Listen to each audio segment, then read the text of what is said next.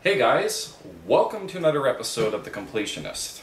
I'm back for my uh, summer round of videos, guys. Uh, I'm sure as many of you are aware, you know, I can't make videos that often because of the fact I work away from home. Uh, and you know I can only make videos twice a year, which is around around the uh, the summertime, and then when I come home over the uh, over the Christmas holidays. So anyway, guys, uh, uh, for the first video I wanted to do uh, now that I'm back for a couple of weeks over the summer is especially for a lot of my friends who have been subscribed to my channel for a really long time. you're very well aware of what my video game collection goals are. But uh, if anybody's new to the channel, uh, basically when I started collecting video games, uh, you know, like the aspect of collecting every game for a specific system never really appealed to me. You know, I always grew up loving and appreciating uh, anime-style games, uh, regardless if they're fighting games, RPGs, platformers, or anything along those lines. So uh, the collection goal that I wanted to issue uh, for myself was that uh, I wanted to collect every anime style game that was lucky enough to have a North American uh, uh, release. Uh, technically it was supposed to be for every major console and handheld system.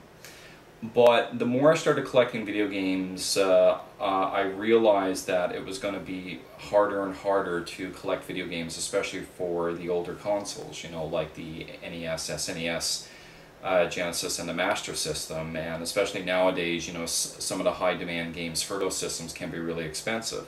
So I decided to cut back my uh, collecting goals a bit, and uh, I decided to still keep the North American uh, anime style game goal intact, but I decided to keep it for mostly disk-based systems, except uh, except systems uh, such as the N64 or you know the Sega 32X or uh, or the GBA, because at least with those systems, you know, some of the games are still relatively half decent price. You, you, you know, they haven't hit the crazy prices, you know, like, uh, like the old 8 to 16 bit systems are.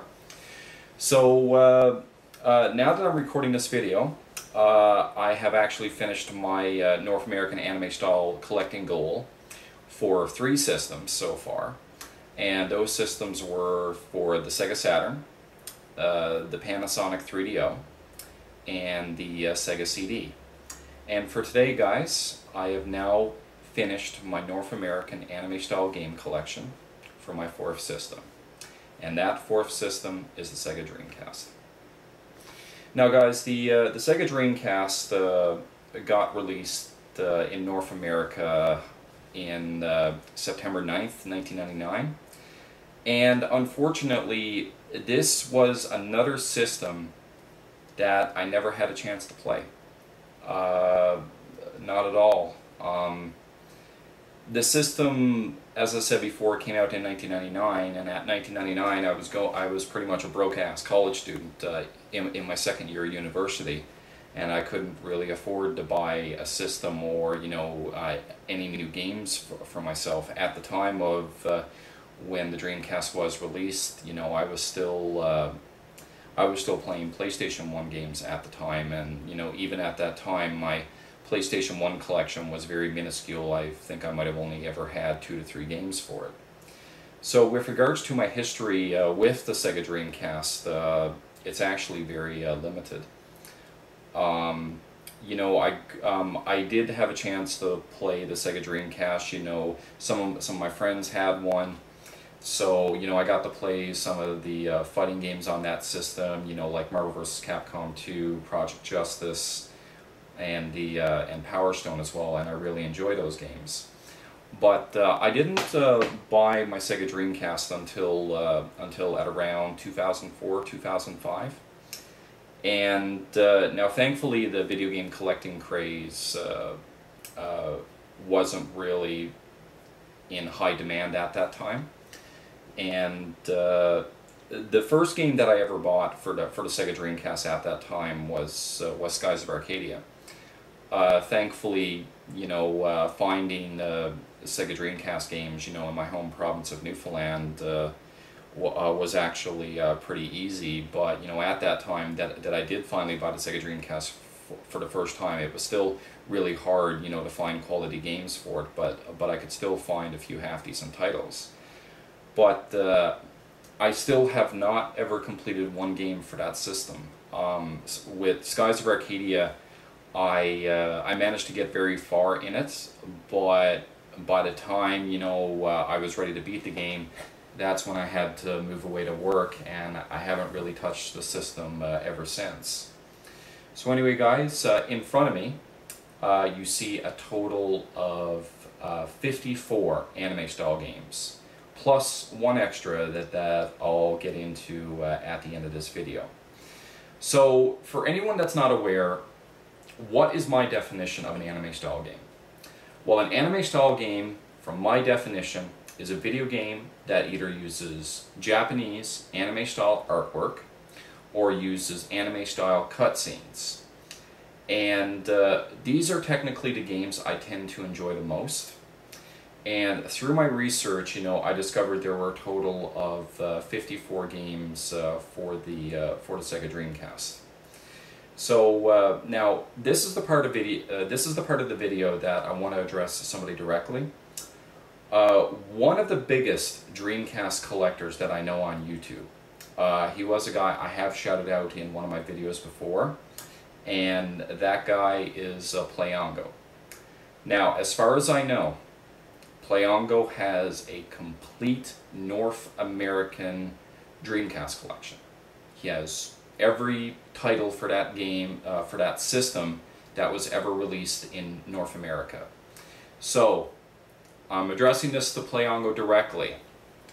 Playongo, if you see an anime style game that is not included in these 54 games that, that I'm about to show everybody, I want you to get a hold of me because because as far as I would like to think, my collecting days for the Dreamcast are finished. So if you see a game missing out of the out of my personal um, uh, collection, I would greatly appreciate it if you would let me know. So anyway, guys, the purpose of these videos is to not only show you all the games that I collect for a specific system, but it, it's to also help other video game uh, collectors who love anime style games as much as I do. And at least one of the good things about the Sega Dreamcast is that a lot of the Sega Dreamcast games haven't really hit ridiculous prices. Uh, you know, as far as I know, there's only really one game that goes around the $200 mark. You, uh, you know, even the most high demand Sega Dreamcast games, you know, maybe average between 60 to, to $120. So at least, you know, the, the, the prices are half decent for the most part. It's not like some really high demand games, you know, for, uh, for the NES and the SNES that are demanding like four, five, six hundred dollars. So anyway guys, let me get started and show you what all the anime style games are for the, uh, for the Sega Dreamcast. So we're going to start on my right and we'll start with the games that got released first because with the Sega Dreamcast library, as far as I know, I think it was the white label games that actually got released first, and then later on in the Dreamcast's lifespan, they actually uh, changed the design of the cases, and instead of everything being white label, it's all black label now. So anyway, guys, the uh, first game is Elemental Gimmick Gear.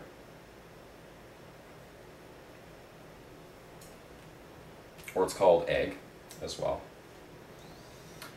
Uh, the next game is the uh, first evolution game, Evolution, the World of the Sacred Device.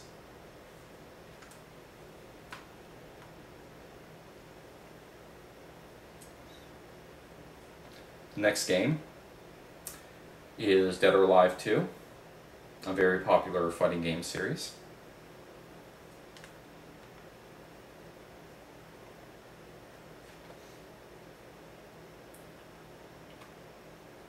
The next game, guys, is Virtual On Oratorio Tangram.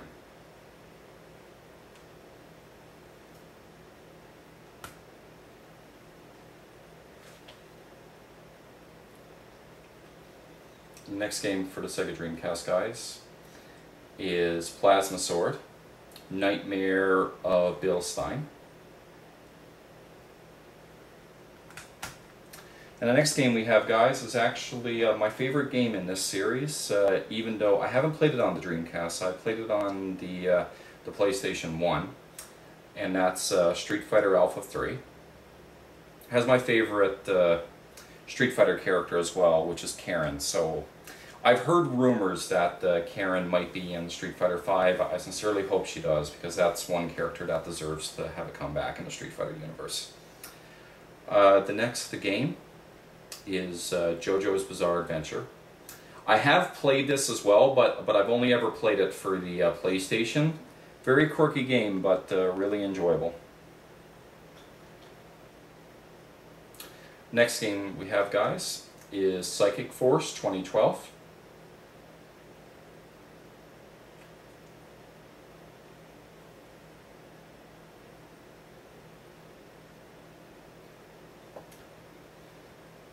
And the next game we have, guys, um, I don't know if I will be able to play this or not because it's an online multiplayer game and I don't think you can get online on the Sega Dreamcast anymore.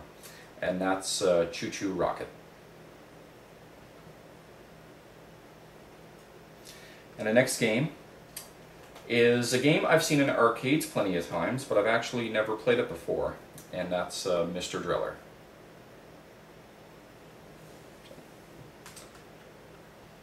That takes care of the first row, guys. Now, so let me just move the chair over so I can put these up. Okay. All right, guys. The uh, the next game in this row.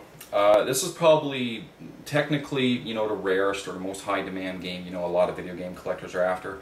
I don't really like calling games rare or valuable because, you know, I buy games to actually fucking play them, not, uh, not to treat them as status symbols. And that's the uh, Sonic Adventure, but it's the Sonic Adventure Limited Edition. And it actually has limited edition right there on the bottom, and it actually says the limited edition right there uh, on the side.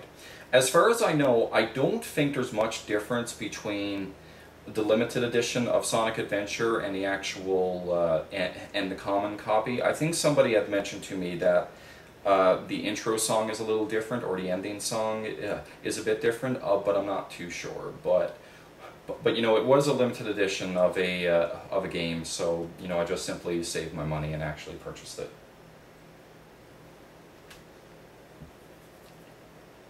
Next game is a game I played a ton in the arcades, haven't played the Dreamcast version, but as far as I know, this game really helped sell the uh, Dreamcast back in the day and that's the original uh, Soul Calibur.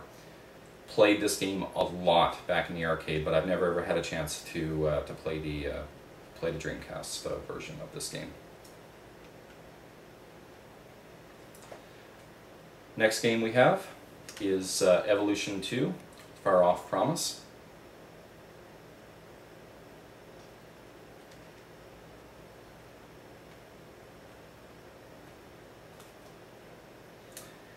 Next game we have, guys, is uh, Time Stalkers.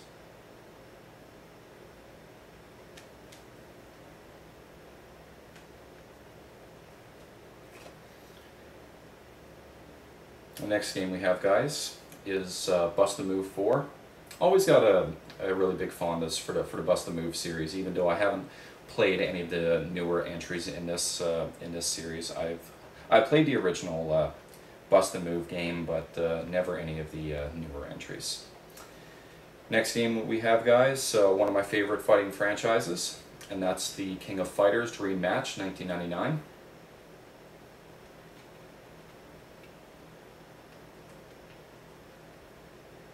If it's one thing uh, the Sega Dreamcast is really known for, is that uh, compared to all the other systems that gave the Sega Dreamcast, you know, uh, competition, you know, such as, you know, the PS2 and the GameCube and the, uh, and the Xbox.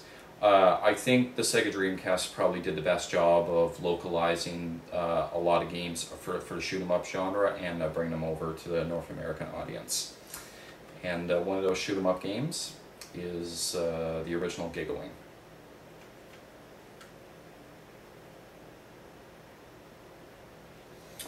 And we have another uh, Sega Dreamcast shoot 'em up. Uh, I've actually played this on MAME, but I haven't played played the Dreamcast version, and that's uh, Gunbird 2. And talking about the Sonic Adventure Limited Edition, this is the actual, uh, I guess, massively released version. You know, there's no limited edition here or here, so so this is just literally like the plain vanilla uh, copy of the uh, of the game. But like uh, from some of the Sonic fans I do know, uh, uh, this game is actually really enjoyable, and it also helped sell the Sega Dreamcast when, it was first released.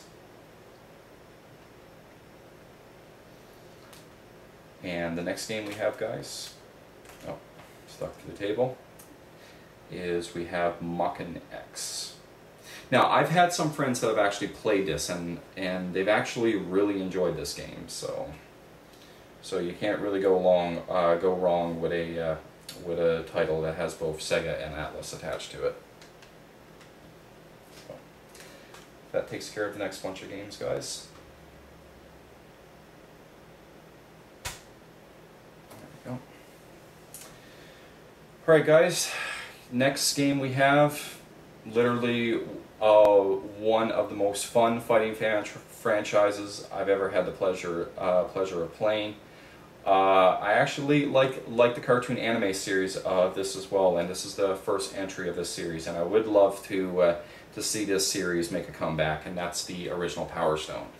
Uh, I briefly played Power Stone on the Dreamcast, but I've also played the Power Stone collection on the uh, on the PSP, and uh, this is just a really fun series. This is a like a great series to just have four people, two to four people play, and just have a really great time with it.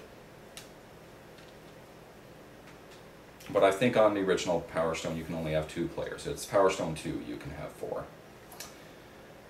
Uh, next game we have, guys, uh, quirky little game. I haven't seen much people talk about it, and that's uh, uh, Super Magnetic Neo. So I have no idea what or what this game is about. I haven't really heard anybody uh, talk about this game either.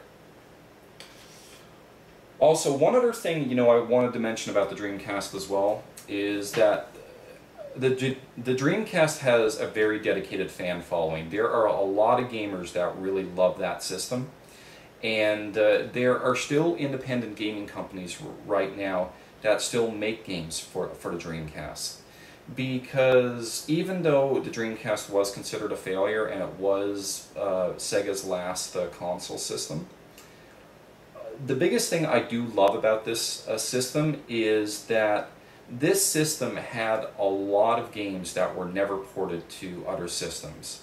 And a lot of people have told me is that especially for the fighting game genre, a lot of the fighting games for the Sega Dreamcast were as close to a perfect arcade port as you can get. And a lot of people love playing fighting games on the Sega Dreamcast because it's because to a lot of people it's probably the best way to play a lot of these fighting games. And the reason why I mention that is because the next game we have in the list is uh, the first game in this critically acclaimed series that a lot of people love uh, I have played this game quite a lot, but I've only ever played it for, for the PS1 and not the Dreamcast, and that's the original uh, Marvel, Marvel vs. Capcom.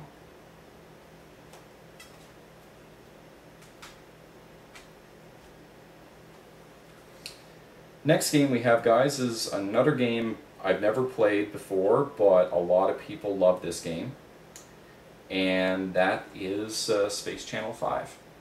Uh, I do like the rhythm game genre, and uh, I have heard people talk of this game uh, quite a lot. Um, so I can't wait to actually give this game a try. Another game comes from an anime series that a lot of people love. I still need to watch the anime series. A lot of people want me to watch the anime series because a lot of people know that I like my anime very bloody and very graphic and things along those lines. And the, uh, the game that, that I have here is uh, Sword of the Berserk. So I've never played this before, I've never watched the an anime before, but hopefully those are two things I can change in the near future.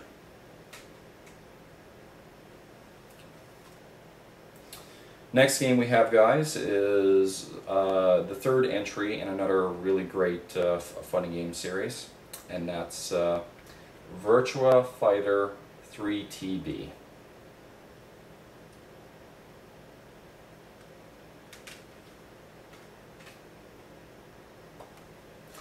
This was probably one of my hardest games to find. Um, this is a, another high demand game, and it is another fighting game. Um, it was actually hard to find this game uh, in relatively good uh, good condition online. You know, uh, it was easy to find import copies of this game, but I actually had a hard time trying to find a North American version, and that's uh, Techromancer. This was actually one one of the last couple of uh, Sega Dreamcast games I actually needed for uh, uh, for my collection.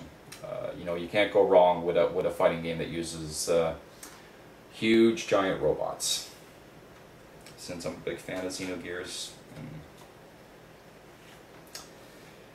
Next game we have, guys, um, another another Sega Dreamcast fighting game. A lot of people consider it the best in the series. I played this for the PlayStation 2 and in the arcade. I've never played the Dreamcast version, but a lot of people love this game and that's uh, Marvel vs. Capcom 2.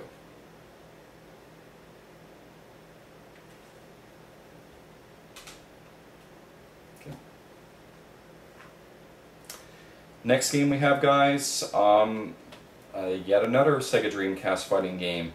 Uh, another series that people absolutely love, but I've only ever played it briefly.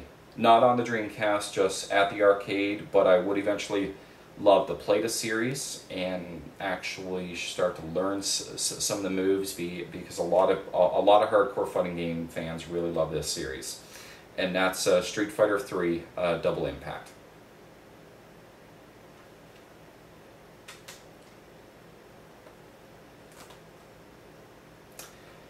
And the next game we have guys is uh, Gundam Side Story 0079 uh, Rise from, uh, from the Ashes.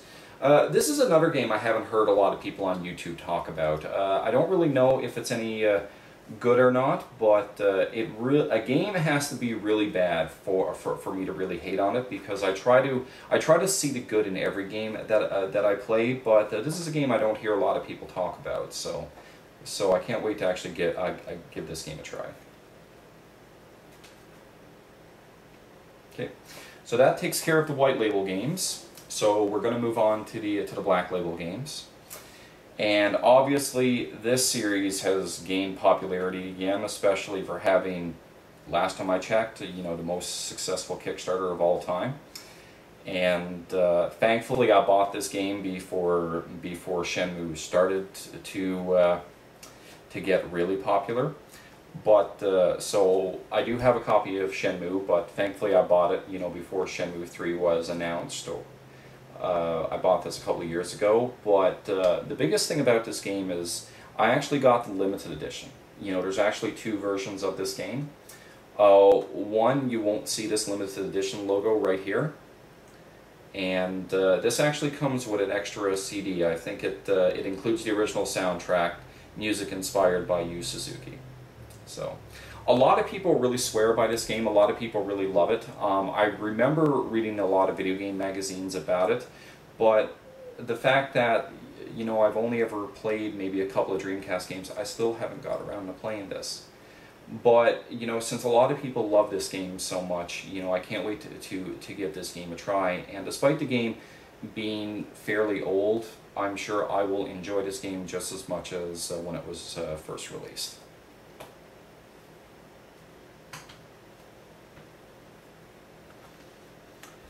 Next game we have, guys, is uh, King of Fighters Evolution.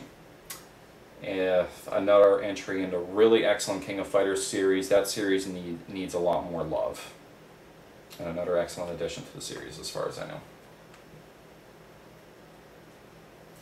Next game we have, guys, is another high-demand game. A lot of video game collectors are after it. Some people consider it one of the the more like rare uh, titles to, to try to find for uh, for Dreamcast. It's a, uh, I guess technically a run and gun, but there are some shoot 'em up elements to it as well, and that's uh, Cannon Spike.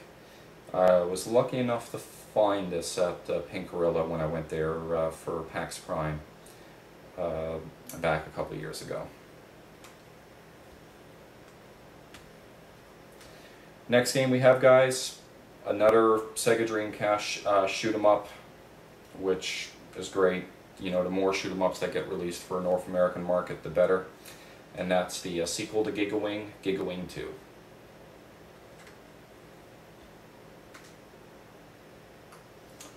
Uh, when I did my road trip with Chargeback Forward back in the day, uh, this was one of the games I actually uh, picked up, and another uh, Sega Dreamcast uh, fighting game.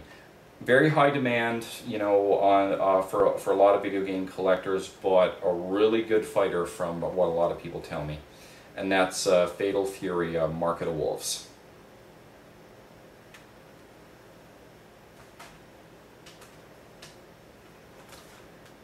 And this is another game that I uh, that I picked uh, when I went uh, to Seattle with uh, with Chargeback Forward, and another Sega Dreamcast shoot 'em up. Um, I've heard mixed feelings about it. You know, there are some people that really love this game, and there are other people that don't like this game. But the but but the game is uh, Mars Matrix.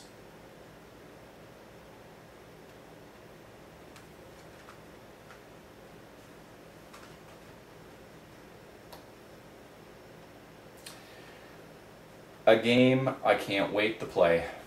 Um, I love this series. Um, this series is frustrating, it's hard, but I absolutely love it.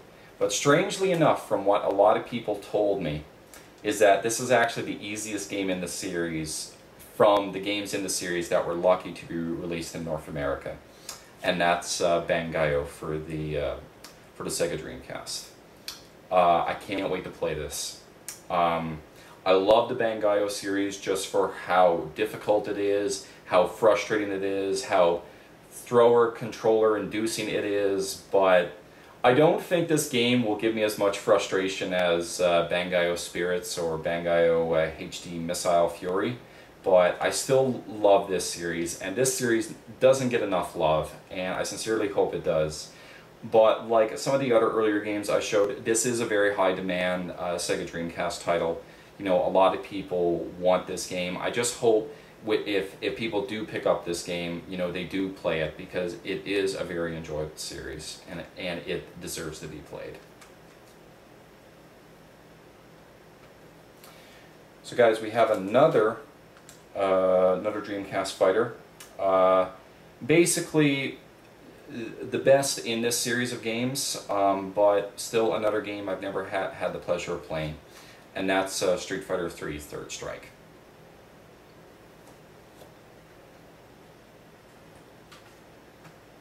Okay, two more rows left to go, guys.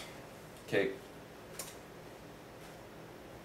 For any of you guys that have been a part of my channel for a long time, what's my favorite fighting game? Rival Schools always will be. I got another good fighting game will will change that, but you never know. So the fact that I love Rival Schools so much, this is probably one of the highest demand, massively produced Dreamcast games. Everybody wants it. Uh, it's just such a more fleshed out uh, version of the original Rival Schools game. It's it's just unfortunate that it only got got a Dreamcast release but this game is jam-packed with so many characters, so so much so much extra content, and it really deserves to be played. And that's uh, Project Justice for the uh, for, for the Sega Dreamcast. This game I have played a lot. Uh, not necessarily this copy, but I played, uh, you know, my friends' copies, you know, when this game was first released, and I just absolutely love and adore this series.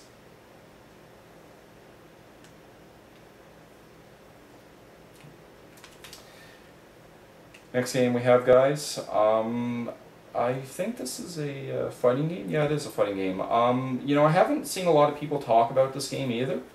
But, uh, like I said, it's anime style, so I had to pick it up. And that's the uh, Last Blade 2. Say Heart of the Samurai.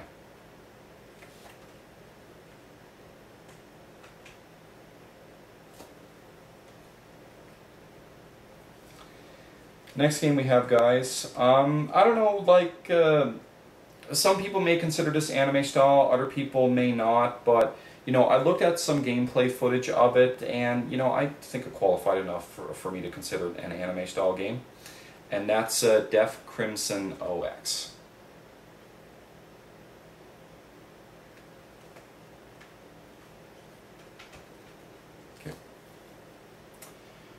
probably the most important JRPG to probably pick up uh, for the uh, for the Sega Dreamcast, and uh, it comes from a series that I haven't played that often. I've I've only ever played and completed the third game in the series, but a lot of people have really great things to say, especially for for the first two entries in the series.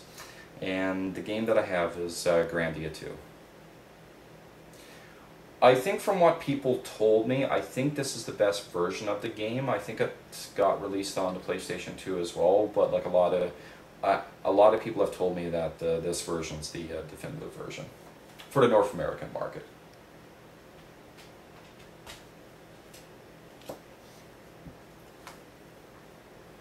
Next game we have, guys, um, basically a sequel to an awesome uh, fighting game basically they took this fighting game and just made it that much better. But it is still a very high demand Sega Dreamcast title that a lot of people are after, and that's uh, Power Stone 2. And this one you can play with uh, with four characters, and it is just a ton of fun. It's an excellent party game.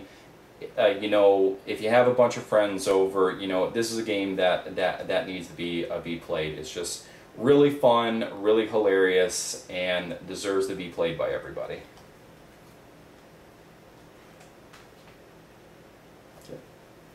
Next game we have, guys, uh, one of, not necessarily my favorite anime, but an anime I remember very fondly uh, back in my early days of actually enjoying anime. Uh, when this game was first released, I didn't even know that it was released. I didn't even know it was based on this anime. Uh, I haven't seen a lot of people talk about it, um, so I don't know what the gameplay for, uh, for this game is like. But the fact that I do love this anime a lot, especially the first series, not necessarily the, the second series, uh, you know, I definitely was going to add this game to my collection, and that's uh, Record of Lodoss War. If you haven't watched the, uh, the US Manga Corps uh, uh, Record of Lodoss War, I think it's only like... Um, 12 episodes or something like that. Really worth watching. It's really good. Next game we have, guys, a game everybody loves for, for Dreamcast as far as I know, but still yet another game I have never played before. Seen plenty of gameplay on it, a lot of people do reviews on it, a lot of people love this game, but still it's a game I have never played before, and that's uh, Jet Grind Radio.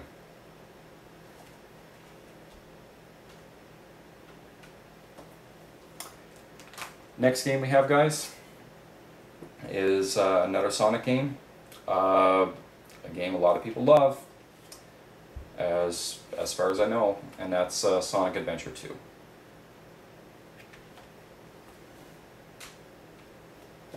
Okay, and now the last row of games, and my apologies guys for this video uh, running really long, but that's what happens when you finish a game uh, game collection, and the collection's over over 50 50 games. Next game we have is uh, Sonic Shuffle. Uh, from from what I know of this game, it's uh, it's basically like Mario Party, I guess, but you know with Sonic characters. So haven't really heard a lot of gamers talk uh, talk about this game either. So I don't know what what it's like. Uh, next game, um, I don't know if I can play uh, play this game as well because they say it's an online online based game, but I would like to think there's a uh, there's a single player mode on it. At least I hope so. And that's uh, Bomberland Bomberman Online. Tongue twister. Okay. Next game we have, guys. First Dreamcast game I ever bought. It's still the, the original copy I bought back around 2004, 2005. I still need to play and complete this, and that's uh, Skies of Arcadia. Um, a lot of people uh, think Skies of Arcadia is better than Grandia 2, some other people feel vice versa, but those are probably this is probably one one of the best JRPGs you'll ever play on that system. Even though that system doesn't really have a um, a huge library of uh, uh, of JRPGs, but technically, this copy of the game, I can't complete it because you need to be online to collect uh, some of the items in this game. So when I do get around to completing this game, uh, I'll try to get everything I can that doesn't really require you to be online. But but you know, at least for uh, for the completionist in me, you know, I do have Skies of Arcadia Legends for the for the GameCube. So at least when I play that game, I can actually uh, collect everything in that game. Next game we have, guys, uh, it was a game I was unsure of uh, if it was anime style or not, but I but I talked to some of my friends about it. I talked, uh, and uh, some of my friends convinced me to consider this an anime style game, and that's uh, Charge 'n Blast. Okay. Next game I have, guys, I don't know if I can play this. Um, I still wanted to add it to the collection because technically I do consider it an anime style game, but I don't know much about it. I'm sure a lot of people played this back in the, back in the day when it was first released, so I don't know what I can play with this. Uh, you know, I don't know if there's a single player mode or like anything along those lines, and that's uh, Phantasy Star Online version 2.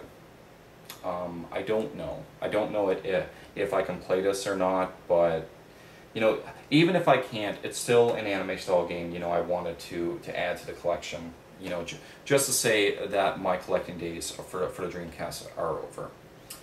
Uh, next game we have, guys, is uh, Outtrigger.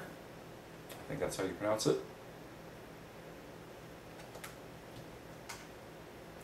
This was the last game I had to uh, to add to, to my Sega Dreamcast collection. Um, when I first went through it, I kind of immediately passed it off as a North American survival horror game, but then uh, when I was trying to get uh, get this collection ready, and one of my friends was going th through my game list, he let me know that uh, that I missed this game. So this was the last game I purchased in order to finish this collection, and that's uh, Illbleed.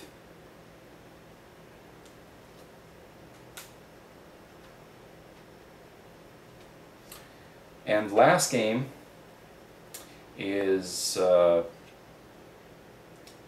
the uh, is another uh, version, or I guess uh, art variant of uh, Phantasy Star Online, which is kind of funny. This one says version two, and this one says version two as well. But as far as I know, I think this was the first release, and I think this was the second release. So I don't know if it's a Frankenstein game that they just, you know, took different art variants or like anything along those lines. You know, if somebody could could help me with that, I'd greatly appreciate it. But but just just like the other one, um, uh, I don't I don't know if I can play these. I don't know if there's a single player campaign or if I really do need to be online to play this. If I did, then I completely missed out on it.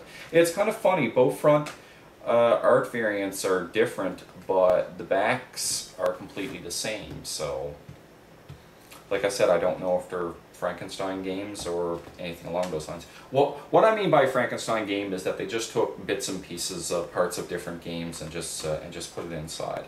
You know, you know, I wonder if the discs are, are the same.